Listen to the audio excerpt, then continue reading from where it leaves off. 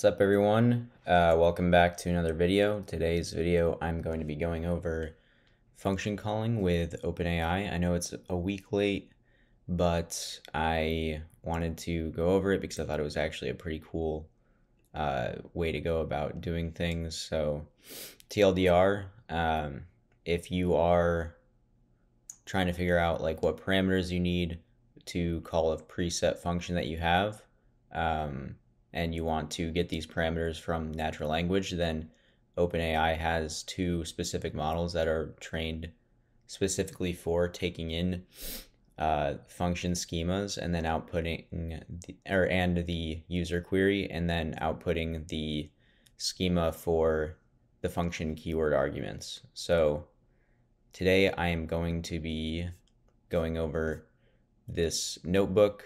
Uh, we're just going to get right into it. We're going to pip install LangChain, OpenAI, .env, Python.env, and tiktoken. We're going to load in our OpenAI API key from our environment. And then we're going to create a function description. And this is just straight from the function description that they have in the example here. I just wanted to use something that I knew worked so I could go over go over it more at the conceptual level. So here we have function descriptions and it's an array of uh, JSON objects and we only have one called get current weather. We have a description, a natural language description. We have the parameters, so you will be take it'll be taking location and unit and you see it tells you the type and the description as well. And then we have our user query. So what's the weather like in, let's say Austin, Texas.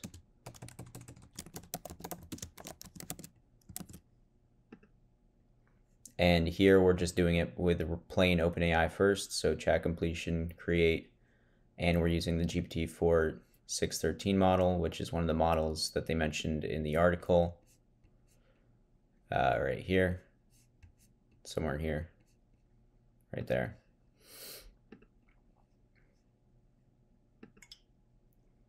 And now we can see what the AI responds with, and you can see that it responds with the function call with the name get current weather and the arguments right here. And so we can get the user location and user unit by getting that from the response. And since we have our predefined function here, we're going to get the function response.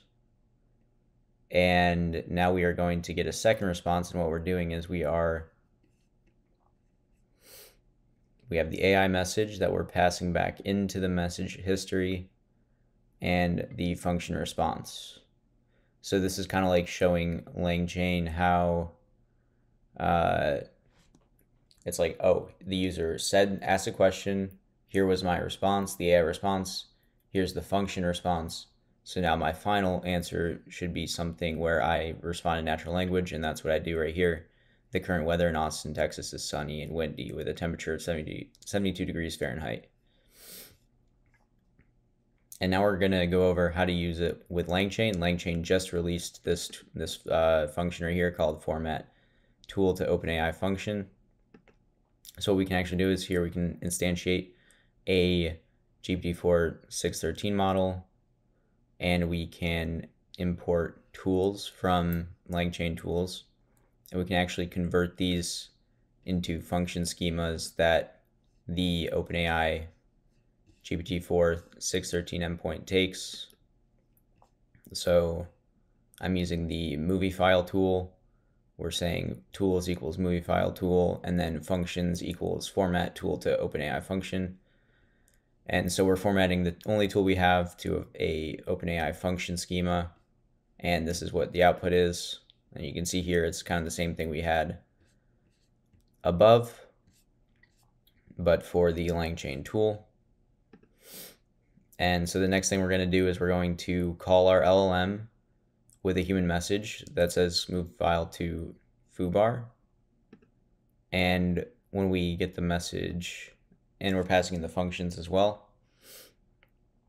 And so the message keywords are going to be uh, foo and bar. So it knows kind of what the like keywords should be, and it knows like the source path is foo, it's saying move a file foo uh, to destination bar.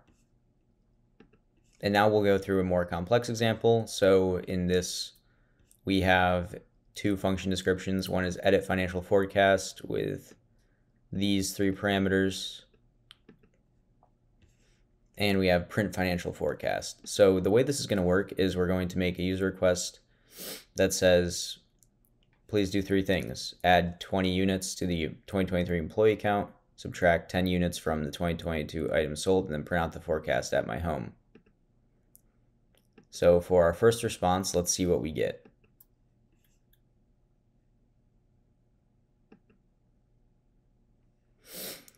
As you can see for the first response, the additional keywords are a function call to edit financial forecast. So it knows that in the first step, it should be doing edit financial forecast. And it has the arguments of the year 2023 categories employee count and the amount is 20. And that's what we said, add 20 to the employee count. Uh, the next thing we're going to do is we are going to see what the function name is, and it is still edit financial forecast.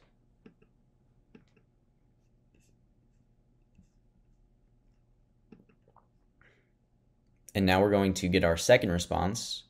And what we're doing here is we're going to load up the entire chat history between the chat bot or the chat model and us at this point. So it's going to be the first user request that we had, the AI message, and the chat message where it says just update the financial forecast and then we're passing in the function descriptions again. So what we're doing here is we're just kind of like priming it up again and saying, okay, it's already done the first step. So for the second response, it should be going into the second step. And by that I mean, we said subtract 10 units from 2022 items sold. And as you can see, the response for the keywords here is still edit financial forecast, but the year is 2022, the category is items sold, and the amount is negative 10. So what we're doing here is we're kind of like, we have our functions description, and then we have our context with the steps that we want the model to kind of go through.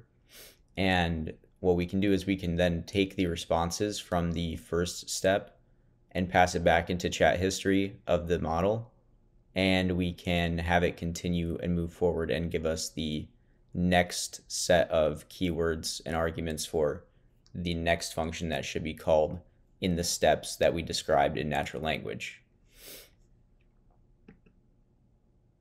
And as you can see, it's still the edit financial forecast function. And now when we run it a third time, remember we said we're going to pass in everything, all of the chat history from the last two calls.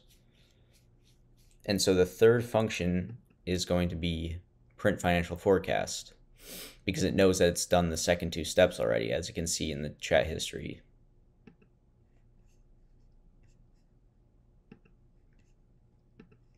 And if we go for a fourth response, we will see that says, great, I made the changes. So uh, at a high level, I think the best way to go about using function descriptions is if you are in a scenario where you are taking in natural language queries from users and you need them to, or you need to be able to decide which function, if any function should be used.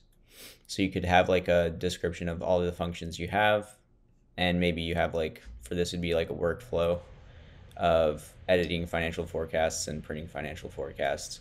And you can actually determine what is the next best step to take based on the inputs of the user and then the outputs of the LLMs. And you'll know what functions to call during each step. And then you can pass all of that back into the chat history to continue if you have like a larger, uh, more complex set of steps, like we just saw in the second example with editing a financial uh, editing a financial forecast, and then printing financial forecast. Um, but yeah, this is just a quick video on functions with OpenAI and also their integration with LangChain, uh, which just came out recently. I think this is a pretty cool uh, kind of way to go about doing things. I don't know if I'll necessarily be doing or using this a ton right now, but it's a good thing to have in the back pocket in case there are some scenarios where it actually would be pretty helpful. Um, and yeah, so if you like the video, uh, drop a comment below, like, hate comments, uh, questions, comments, concerns, and yeah, join the Friday Lunch Discord. There's no outro, so goodbye.